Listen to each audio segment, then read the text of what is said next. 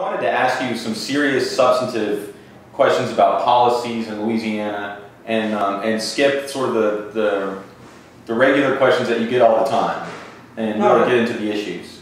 Um, you're running against the guy, Garrett Graves, who was Bobby Jindal's coastal advisor.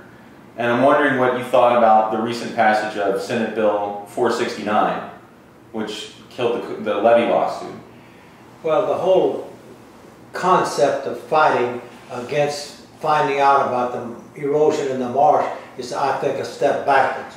Now, I'm not prepared to say whether the Corps of Engineers or the oil and gas companies or the trappers or Mother Nature is responsible for the damage. But there are two things that are certain.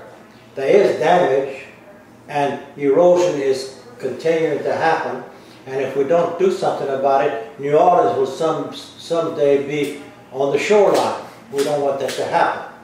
Now, in my opinion, I thought that the most prudent and proper thing to do was to have the courts make a decision about if there was damage, to what extent, and to what extent the Corps, nature, and the oil and gas companies and trappers are responsible, and issue a judgment to hold each of these entities responsible for its share of the damage.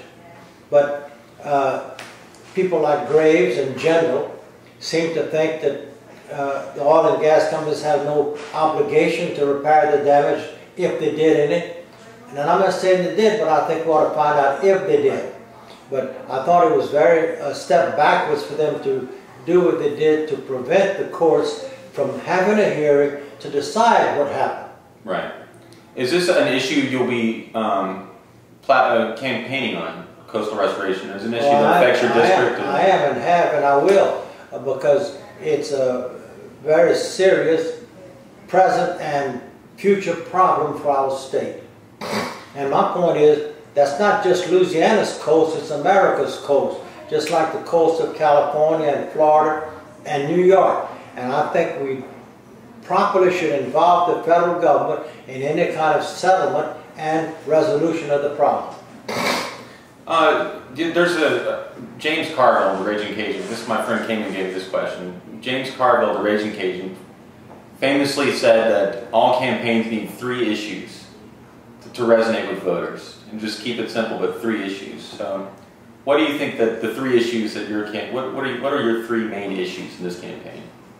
Well, certainly I'm dependent upon the fact that I have been in politics for a long period of time. I served successfully as governor of the state for 16 years. And I also have been in Congress, unlike the other candidates running. And I would have an advantage of seniority if I get elected. And the issue that I see is this attitude that the present administration in Louisiana has that it's all business and industry and nothing for the poor, the disadvantaged, the uneducated. They have taken away money out of the educational system. They've made it burdensome for students to go to college because of tuition costs. They have decimated the health care services in the state that has been a traditional great achievement for Louisiana, and I, I don't like to see that happen. I'm curious about what you think about the efforts underway in um, St. George, the area of southern eastern Baton Rouge, East Baton Rouge Parish. And it's a very controversial issue. You may not want to weigh into it, but well, I don't live in Baton Rouge, and I I don't uh, have any opinion. Uh, frankly, I think that's left up to the voters. However, if I voted, I don't think I would vote for the separation. Right. And what do you and and you know more on education? I guess I wanted wanted to ask you about what you think about um, the recent sort of overhaul of the Louisiana public education system, the, the charter schools that have been popping up everywhere, all across the state, and um, the, the school voucher program. Do you have an opinion on the merits of that program or? I think that anytime you take away money that's supposed to be for the public school system and give it to the private system, unless it directly goes to the student, like transporting the student to school, then I think you're not only violating the Constitution, but I think you're doing damage to the public school system. And ultimately, if you continue to chip away from it, it's going to fall of its own weight. I had a, a, series of questions that I got from when I said that I was going to drive down here to Baton Rouge. I put it on my Facebook and asked my friends to submit serious questions only. And I got this one more than once, and um, a few of them I'd like to ask you. But, um, recently, Jindal signed House Bill 388. I don't know if you're familiar with this, but it's um, it had to do with um, access to abortion clinics in the state of Louisiana, and the effect of it uh, they say will, will be to close four of the state's five clinics. Uh, he also recently signed another bill that would keep um, pregnant women alive on mechanical life support. Um, and a lot of people see this as an erosion of um, pro-choice you know, women's rights. Um, and an issue that already has popped up in the campaign, um, in, this, in Mary Landrieu and Bill Cassidy's Senate campaign. Curious about what you thought about those, those, those issues and what you think about that bill well, we, we all have to recognize that since Roe v. Wade, the Supreme Court has laid down guidelines that we have to live by because it's the law of the land. Within those parameters, then I think that we need to do whatever we can to take care of the health of the woman and the child.